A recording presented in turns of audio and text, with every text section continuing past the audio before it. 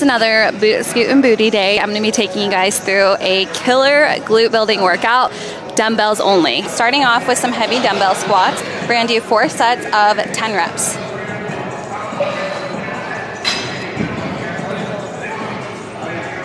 Split squats next. Go hard or go home. We're gonna do three sets of 10 reps each leg.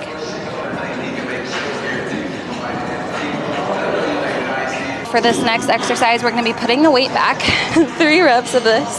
Next up, we've got some B stance RDLs. We're gonna stagger your feet, push through your front heel, 10 reps each leg, times three. Next up, we have single leg hip thrusts.